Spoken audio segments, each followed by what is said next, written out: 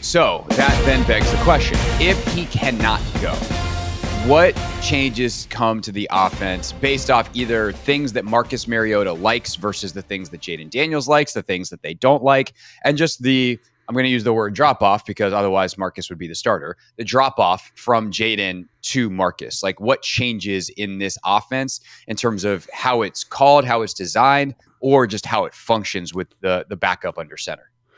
Yeah, so I think the first thing is I'd probably just uh, B Rob, Austin Ekeler, or Jeremy McNichols, the offensive line. I'd really lean into that group. And they've done a great job throughout the season. I think it's a group that's shown you can lean on them. And I think with the right schematic elevation, like we talked about in the podcast on Tuesday, we're insulating runs, we're putting window dressing on certain runs, we're getting the runs in different formations, we're spreading guys out to run downhill, like all that stuff I'm leaning into that 100%.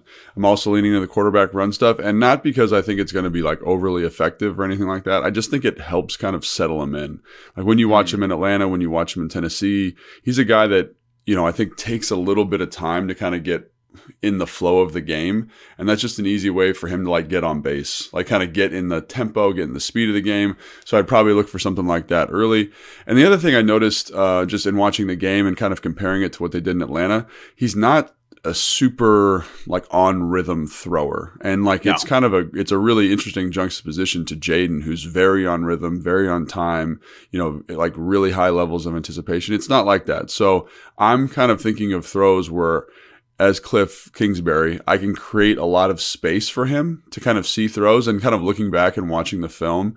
Like that's what they did. They didn't like lean into quick game, which is kind of what your default setting would be if you're trying to get a quarterback easy throws. You're like, let's get into quick game. Let's get into stuff where he can just get the ball out quick and get run some. It's not that. It's kind of these deeper, longer developing play action shots. And those play action shots, I think, are so important because they they create grass for him. And again, right. that if you're going to do that, you got to think about when I'm going to do that, like situation in the game, how I'm going to protect it.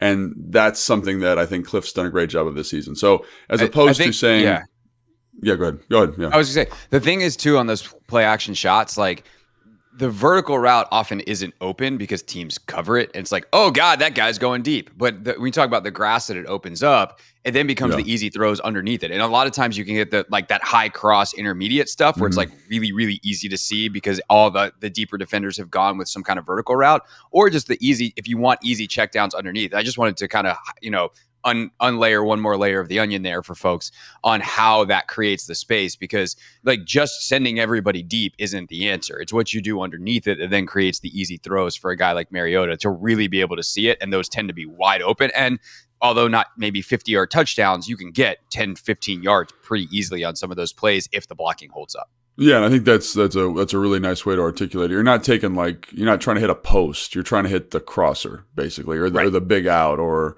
the or Zach Ertz over the middle of the field, kind of crossing into that window because you've cleared it out. So I think that's what I'd kind of expect to see, which is which is I think he did one of the reasons he did so well. I think the other thing that I'd like to see Kliff do, and uh, he's done it with every quarterback he's ever had, is get into those three by ones, find those isolations. Those are really easy reads and really easy decisions for the quarterback, especially when you got a guy like Terry who's good at running hitches. He's good at running comebacks. You know, he's not Terry doesn't have the most diverse route tree of all time, but he's really good at those. So I'm going to lean into those and just make sure he's feeling comfortable and gets on base. But I think because he's a little bit of out of rhythm thrower, or that's what he showed last game. I mean, that's what he showed when he was in Atlanta too. Um, what is my protection plan? I think is going to be the big thing for him, especially with the Bears. And uh, it's good this week because the Bears aren't, you know, we'll talk about them more in a second, more specifically, but they don't bring a ton of pressure. They're kind of like, we're going to, in some ways they're kind of a vanilla defense. They're like we're going to win with four. Sometimes we'll big, bring five if the situation dictates, but we're not. It's not like when you watch Minnesota where you're like, what are they doing? There's so many rushers. this is simulated pressures. Like there's just right. so much going on. They're not like that. So I, it, in terms of protection plan, I think Kliff will be able to come up with a good one. And I think again, you don't want to leverage these kind of down the field throws too much. And so that's where I think the running game is going to be really nice to insulate him. But again, like to Mariota's credit, he this is the a style very similar to the offense that he ran when he was at Oregon. He does seem very comfortable with it. He's very comfortable with kind of the number counts, the quarterback run stuff.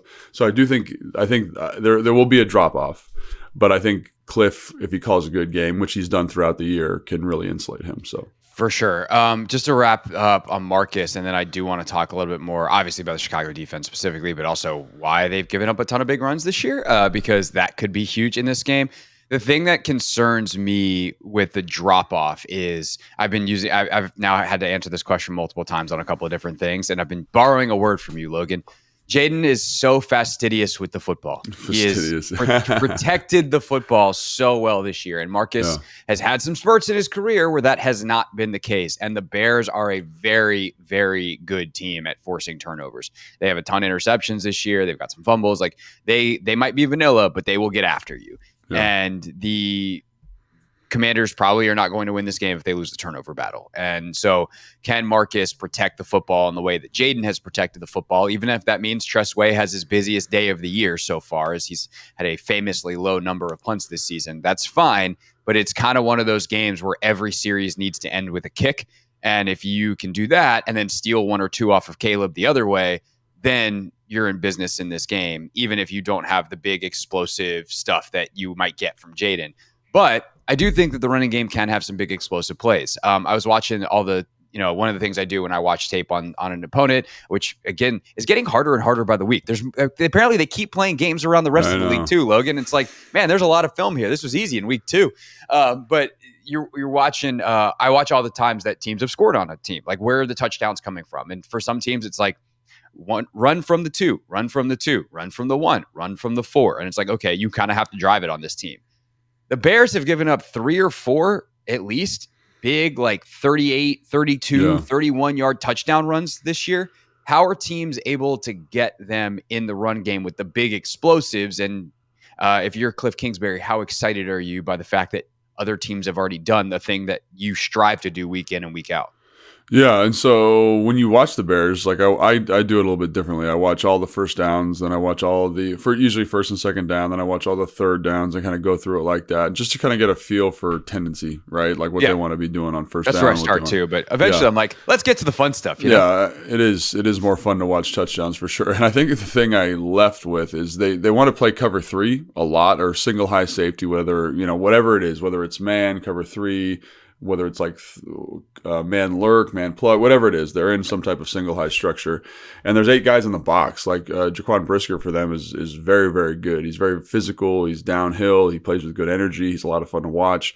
And so when you're playing eight man box, like it should be really hard to run the football. Like think old Seattle cover three. Like that's why they ran that structure is to basically like you're not going to run the football anymore.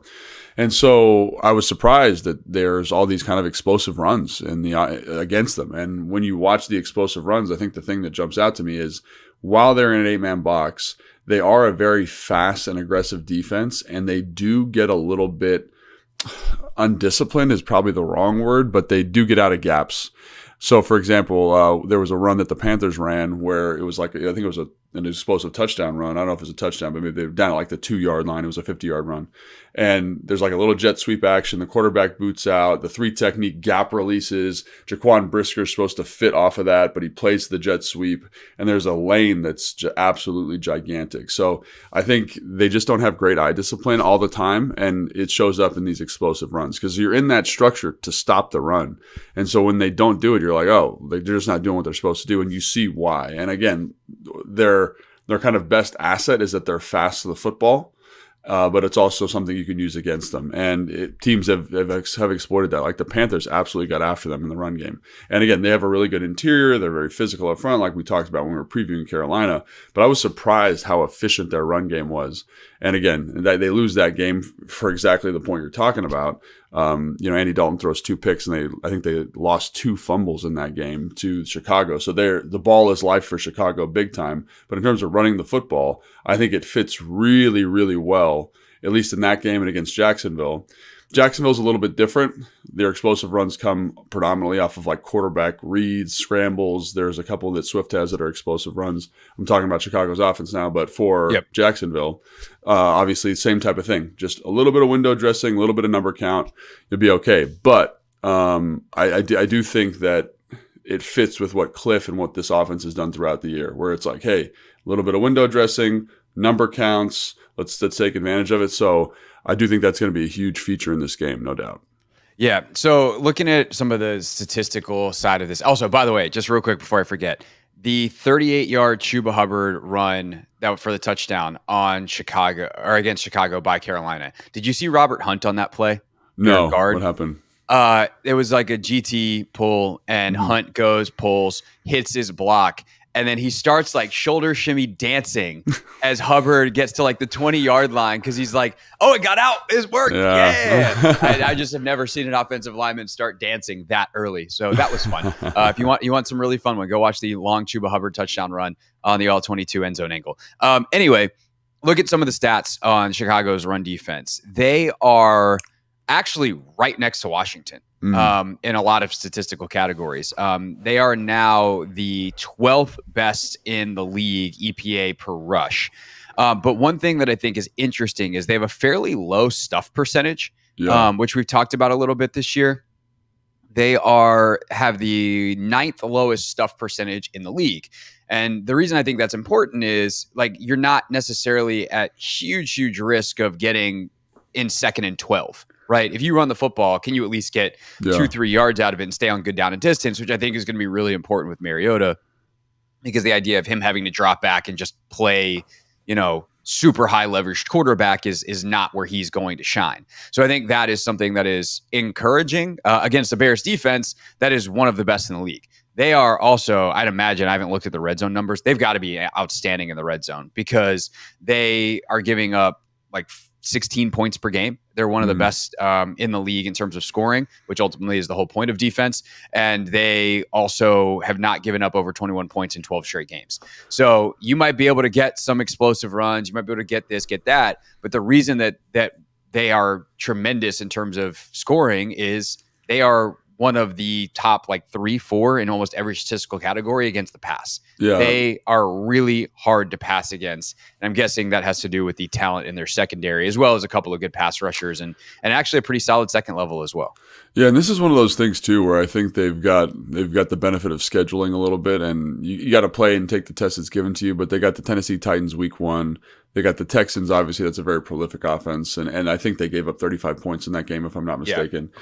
And then they got the Colts with uh, Anthony Richardson, and that game was tough to watch, man. Like, they, no one wanted to win. They're throwing picks. We're not being careful with the football, just not very good offense in general. The Rams are banged up. They got them week four. The Panthers, who we just saw, and we just talked about how rough they can be offensively. And then the Jacksonville Jaguars, who, again, in that game in London, were just not very efficient offensively. So it's funny, like when you watch some of the cut ups, some like the completion cut ups, like there's space and there's air in the defense. I think it's just about like, can you maximize the, can you can you be effective? Can you maximize? Because I like they're talented, but there's nobody that's you're like, oh my god, this guy. There's no Sauce Gardner in the secondary. I, I was gonna say Jaylon Johnson's kind of emerged as one of those guys. He's a good like, player.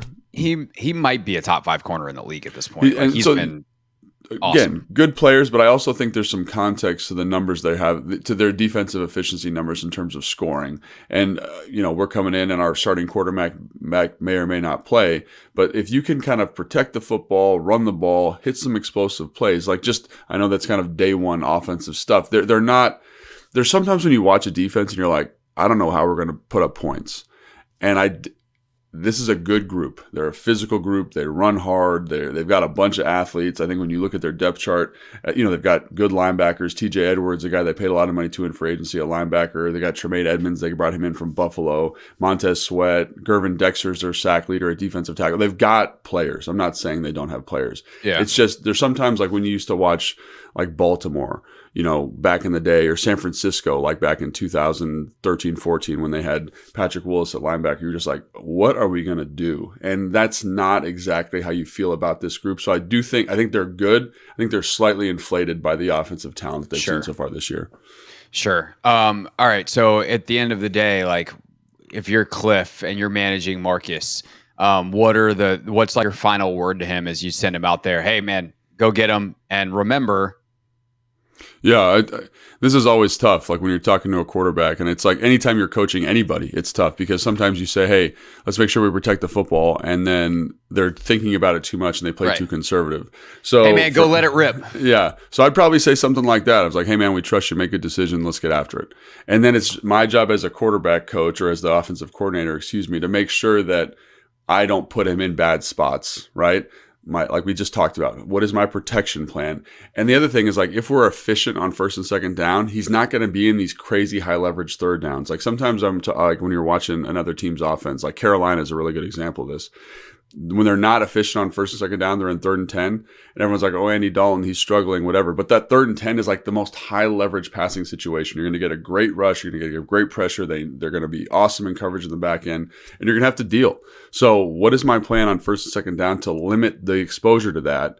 In those in in those tough passing downs. And one of the things about this offense so far this year is it's been excellent. It's really been excellent about staying out of those situations. And a lot of that I give credit to Jayden Daniels because he just makes excellent decisions. But as Kliff, can I help facilitate that a little bit to his skill set like we talked about? More quarterback runs potentially, more kind of screens, quick game Kliff loves that stuff. They've been ex- excellent at executing that all year. And then when we've got to have it, got to have those big chunk plays, can we do it from a third and four as opposed to a third and 10 or third and eight, where it's right. a little bit more obvious passing down? One thing that I will say for both coordinators, and we'll talk about this a little bit more when we flip sides of the ball here, is when they have gone against coordinators that are kind of predictable, they can really get on one. They can mm. get on heaters as play callers. Joe has done that sometimes this year when he figures out an offense's rhythm, like he's on it.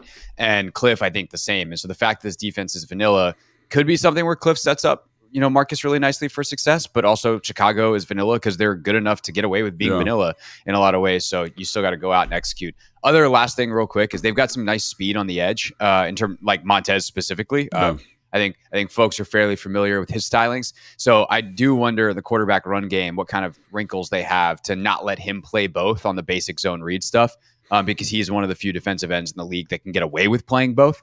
And so how do they how do they do that to try to keep that a part of the the plan? Because obviously running Marcus, if you're not running him, like you're not maximizing him, you're not even close. So that's that's another like specific wrinkle that I'm kind of thinking about going into this one.